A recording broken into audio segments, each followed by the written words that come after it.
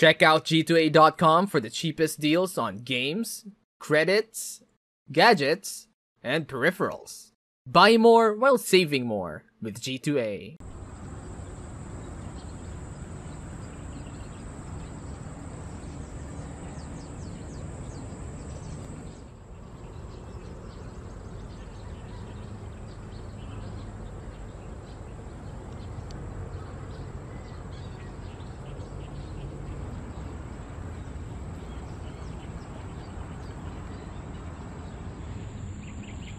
Nobi Redhead Minnow. Let's see.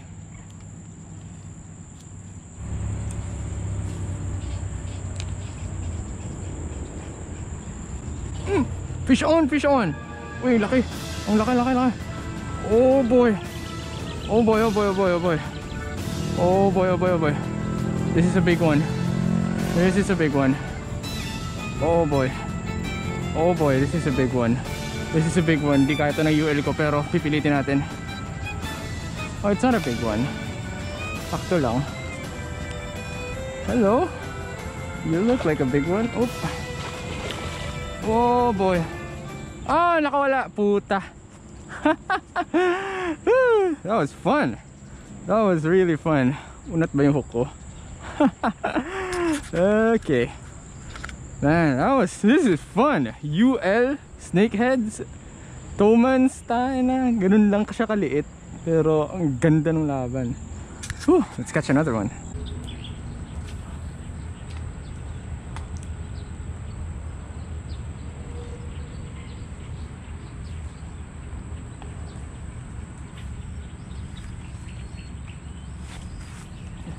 Fish on!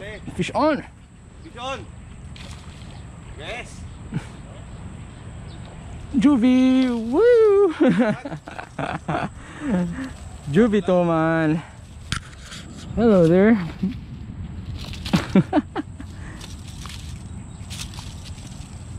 Feisty!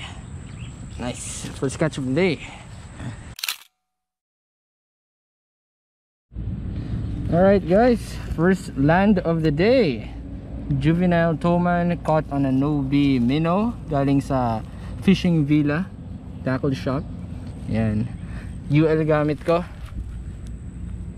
Shimano Stradic on a 6 pound line and then yung King Hunter na UL rod galing din sa Fishing Villa. So that was pretty nice. Next time lalabanin ko pa. Maliit pa to eh. Hindi pa to yung kaninang nahukukan na malaki. So we'll release this guy. See you later bro Woo. there he goes. Isa pa isa pa. Kaya pa to. Hindi like the minnows pag ganitong oras. Mga alas 8 natirik yung araw. Minnows talaga. Oh, mga juvies. Let's catch another one. Gusto ko yung malaki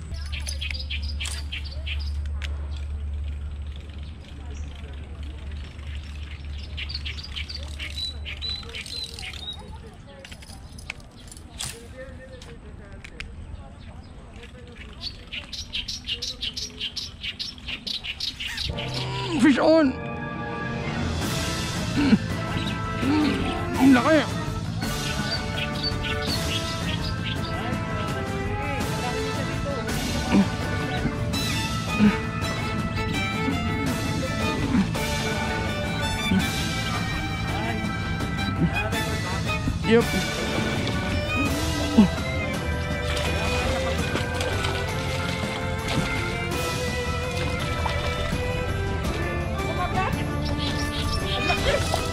Ugh. Woo! Woo! Oh my god, sana naka-record. Oh my god, sana naka-record. Oh my god, naka-record ka! Tagal mo Hindi ko. Ang tagal mo siyang Woohoo! Oh my god, dude. Ang lakas niya. Hindi siya Toman. It's Toman. Toman, Toman, Toman. Wow, congrats! Grabe! Thank you. Picture naman! Pero sige. Kunwari! Woo! Galing! Yeah! Nanginginig ako. Woo! Hell yeah! Galing mo, Bart. Woo! Re-release Totoo yan ha? Totoo yan. Ilang oras Ah, marami tayong Ilang oras din ako nag-ano nito eh. Nanginginig ako. So, around 15 to 16, yeah, 15.5 inches na toman. Ayan. This is my current PB. Second toman na nahuli ko sa third. Pero ito yung pinakamalaki. Biggest so far. Woo! 15.5 inches. Caught on a buzzbait galing Fishing Villa Outdoor Tackles. Ayan, thank you so much. 15.5 inches. There you go. I-revive mo. Revive lang muna natin siya. Ano mo na? Ayan siya.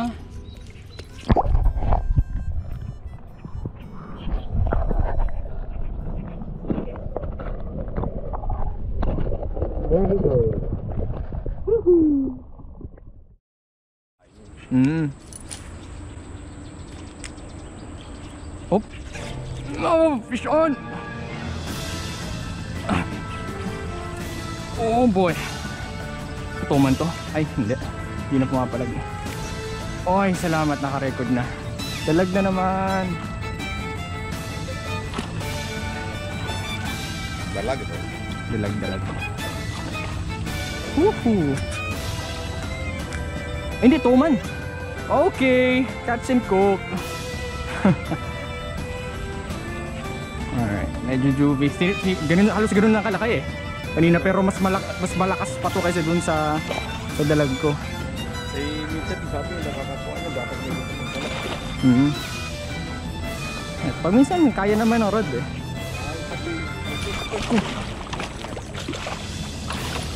Kung nadali ko siya sa ano, sa mata. Dali nga sa mata. Oo. Pati yung dalag ko kanina, mata rin eh. Oh my god, nadali ko siya sa mata guys. So wala, no choice talaga. Catch and cook na to. Yeah. Ah. Alright, Igza. So again, this is our dish for today. It's a two-man snakehead. Uh, invasive species siya dito sa Pinas. Usually, it's endemic in Thailand. It's characterized by its very intricate patterns dito sa likod compared sa dalag. Ayan, sinide by side ko na yung dalawang huli ko. So, eto, yung toman. Ayan, intricate patterns sa likod. Ito yung endemic sa Pinas, yung dalag or yung haruan na tinatawag sa iba. Characterized by a white belly and brown um, paano matawag brown skin sa taas. Yun lang, see? So again, yan, side by side. There. Cool. Ayos ba tayo dyan? Now, ang lulutuin ko lang siguro would be etong toman para mas interesting kasi masyadong familiar na yung mga tao sa lasa ng dalag eh. Kung sa ngayon, lutuin muna natin yung toman. Nice. Okay guys, I have everything set up. We have the fish, we have everything we need to cook the fish, and we have a very nice scenery at the back. So, I think everything's perfect for a catch and cook outdoor setup, ne? Nice. Alright, let's uh, get to cooking. But before we get to cooking, we gotta put this guy out of its misery. So I'm gonna bonk its head really, really hard with one blow. I'm not gonna show it on camera anymore because uh, it's gonna look too cruel. So, yep, just let me do my thing. Okay, next we're gonna clean the fish. This is my first time cleaning a toman. I'm using a Itamai Gyuto knife. I usually use a Deba knife, but I don't have a Deba right now, so this should do. Okay, we're gonna fillet it.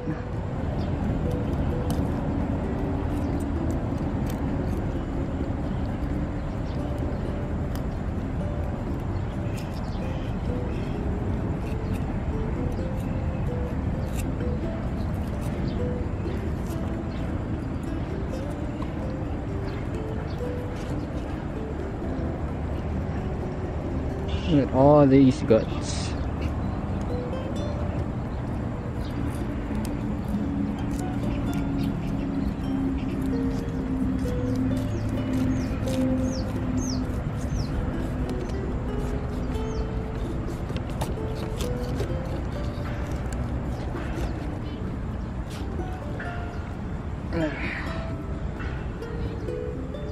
There you go.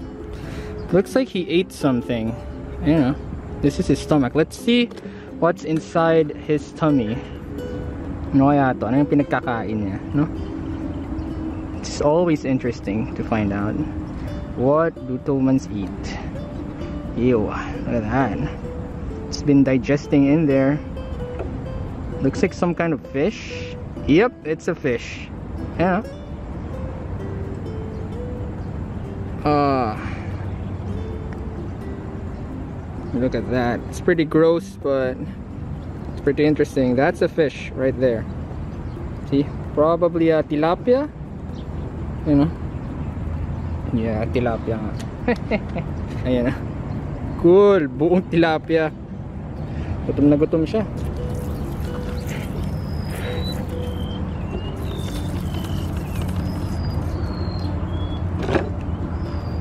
Ito yung ulo niya. There you go. Clean off. Daming laman. Might use it sometime, but we're not gonna use the head. We're just gonna fillet the body and uh, use that one. This is what you call a swim bladder. Uh, this uh, helps the fish stay buoyant on the water. So it's full of air. If you puncture it, it's just gonna pop. Ooh, wala na. See? Hangin lang siya. Swim bladder. Cool. Let's clean our area. Next up, we're gonna do a fillet on this side. It should be easy. So, I'm gonna flip it on this side. Medyo madulas siya.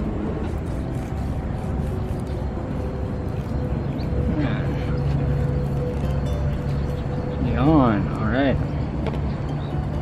See this? And then from here on, pipili mo na siya.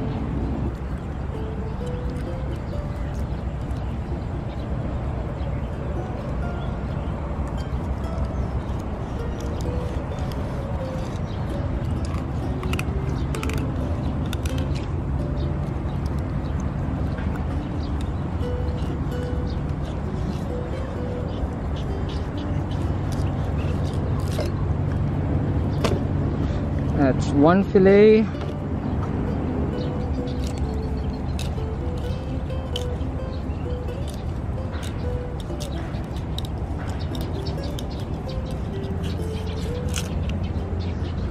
Woo! Uh, a lot of the meat from the spine and the tail is left, but it's okay. It's cool. So we got here two nice fillets. Tatanggalin natin yung skin and yung mga hasang niya. Alright?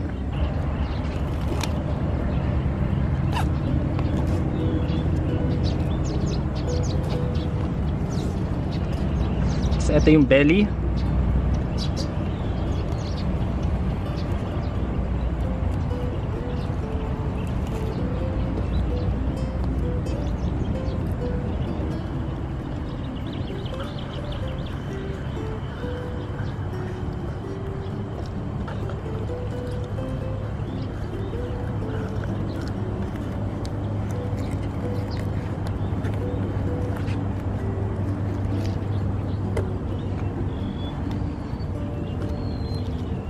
Yon!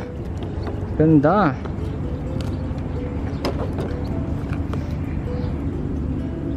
And this is a toman fillet. Look at that. White meat. So, ito yung balat niya. Cool. Look at that. Nice.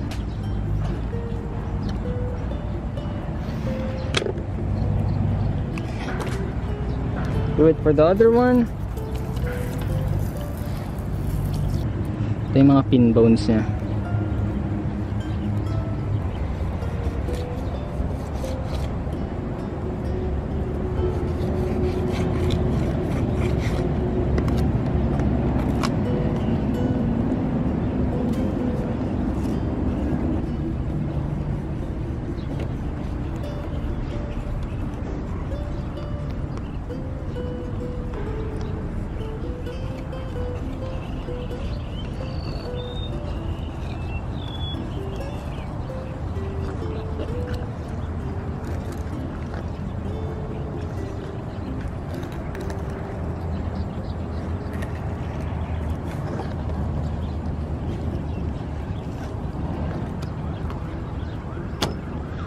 Yan.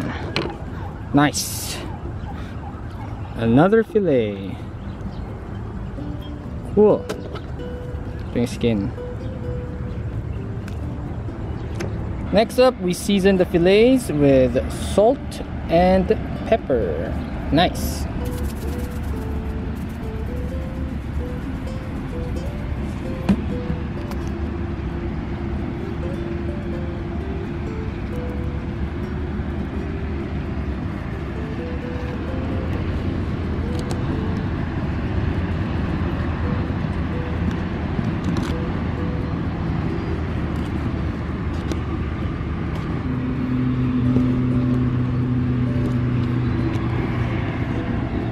Nice.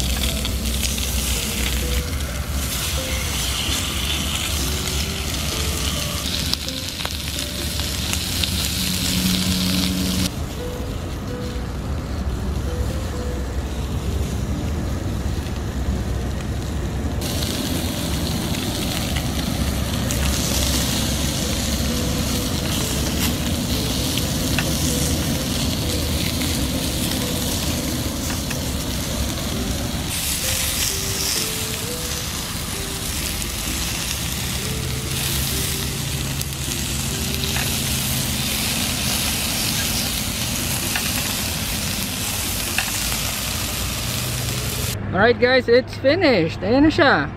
Look at that. Might be overcooked, but I don't care. Tingnan natin. Tadakimasu.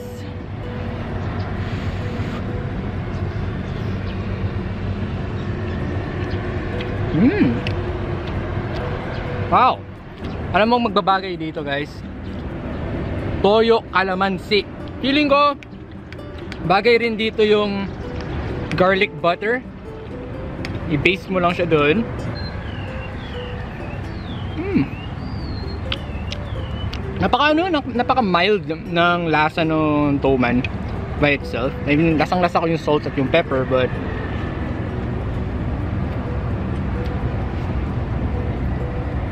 yung toman mismo wala siyang particular na lasa. Alam mo yung tipong pag nakatikim ka ng tilapia, alam mo na tilapia yon. Kahit anong luto pa yon, alam mo, ah, tilapia to. Itong toman parang mild eh. Hindi malansa, wala siyang particular na flavor, parang ano lang talaga siya. Neutral, hindi naman matabang. It's tender, it's chunky, pero wala siyang distinct na flavor talaga eh. So I guess the toman is perfect for people who are trying to experiment with different recipes. Like paano mo papasarapin yung toman? Anong klaseng flavor yung i-infuse mo sa karne na to? It's white white meat eh. White meat talaga siya oh. Very tender. Hmm. Feeling ko it would go well with teriyaki sauce. Yung gagawin mo siyang parang ano, ano yan? Parang unagi na may sauce. Man, I'm gonna try that next time. Sayang. Next time, try ko uh, ter uh, toman teriyaki. Feeling ko bagay eh. Bagay siya eh. Para siyang hito. Yun, parang hito yung lasa niya. May konting similarity siya when it comes to the texture and the flavor ng hito. Mmm. Nice. Okay. Cool. Kain. So that's it for my catch and cook outdoors using a Toman snake head. Hope you guys enjoyed. Again, final verdict on the Toman. It's pretty good. Pretty good in the way that it could be very dynamic depending on what kind of recipe you're uh, gonna use on it. Ibang tao, gagawin nilang adobo, yung iba daw iniihaw. Masarap, feeling ko masarap din ito ihawin. Tapos yung sausawan mo, toyo, kamatis, kalamansi. Mmm, next time, next time. Pero as for uh, salt and pepper fillet, medyo basic siya. Basic naman talaga eh. It's for testing the waters talaga siya, yung salt and pepper. Kahit anong karne, if you wanna have a feel of what it tastes like, salt and pepper lang, that's it. So probably next time, if we get the chance again to cook one of these, uh, pili ko ihawin ko na lang or yung teriyaki uh, toman. Tingnan natin. We'll see. But anyways, that's it for now. Thank you so much for watching and I hope you guys enjoyed. If you want more, subscribe kayo. Please, subscribe kayo. Okay? Nagmumukha akong bootleg ni Nuri dito sa get up ko. Pero ganito talaga ako mag-fishing. Alright? Ay, bumili nga pala ako ng drone. Pakitaan ko nga kayo ng mga drone shots. Wait lang.